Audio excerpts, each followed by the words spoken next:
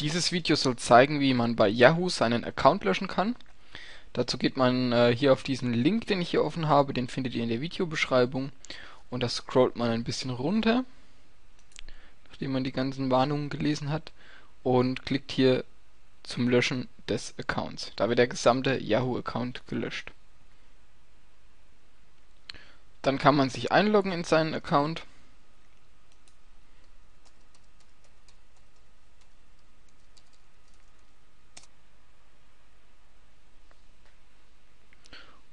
Und ähm, dann muss man hier nochmal durchlesen, folgende Informationen. Also das ist wichtig, falls ihr zum Beispiel ja, Premium-Dienste genutzt habt, also bezahlt habt. Falls nicht, einfach hier nach unten das Capture eingeben.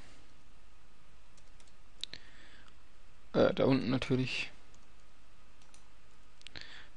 Da oben ist das Passwort.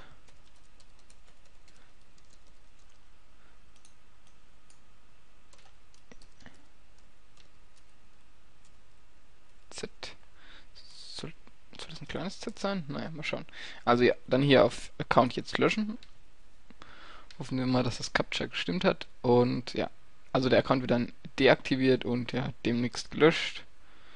90 Tage soll das angeblich dauern. Gut, okay. So, und so schnell ist bei Yahoo der Account gelöscht.